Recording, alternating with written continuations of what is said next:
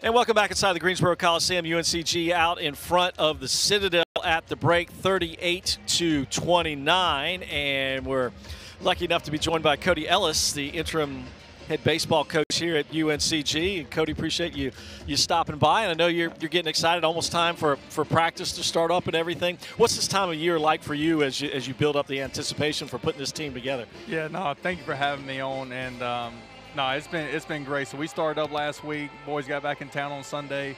Uh, started up on Monday, and uh, we've been getting after it five days a week uh, for about 30, 45 minutes. We're only allowed to be in four hours right now, but uh, the energy and the effort has been phenomenal since we've been back. So they're they're excited, ready to start team practice next Friday. Yeah, you know, it almost seems like whenever the first cold spell comes into town, then you know, hey, baseball season must be must be coming around the corner.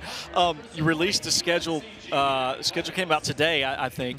Uh, got a lot of Power Five, a lot of a very challenging schedule. But you start off with a nice with a nice home stand as well. What does that What does that mean for you know you to have the group here at home for those first couple of games? Yeah, no, I think it's great, especially if we get some get some guys coming into town and, and being able to in front of our home fans. Guys get to sleep in their own bed, so I think it's always uh, just a little different factor when, when you play at home where you're comfortable with, and then obviously we get on the road. Uh, we go to Clemson, which they're you know top 10 team in the country Yeah. preseason ranked, and then we go down to South Florida. So I think it'll be good as far as being tested regionally, both nationally, as far as um, you know competition, and then the atmospheres that we get to play in just kind of sets us up for our conference. Right, to get you ready for league play. But a- I think what is it? Yeah, 11 straight games to start off the schedule. That's that's that's that's pretty neat. Um, there's been a lot of improvements that have been done to the baseball facility as, as well. Talk a little bit about those and what it, what it means to have that kind of su- support. Yeah, I think, I mean, just the support staff here with athletic director, you know, Brian Mackin, just uh, really putting a lot of emphasis in, into the facilities, um, you know, for baseball. And so we got an all new padded wall going around the going around the field, and it really just ties all together. It makes it look like a real stadium now instead of just having the fencing. And then, you know, we've redone, uh, revamped, and renovated our field house. We got all new carpet in there, all new furniture. Uh, we got a wall of fame going down you know, to our locker room. We got our big leaguers on the left side that we're improving, and then we're redoing the locker room this summer. So just a ton of great things going on at the university and for baseball. Well, and a, and a great way for folks to give back to the first pitch dinner is coming up on, on February 2nd. What what is that dinner all about in terms of supporting the, the baseball program? Yeah, that's our biggest fundraiser, and we've had a you know a tremendous amount of support here in the last couple years.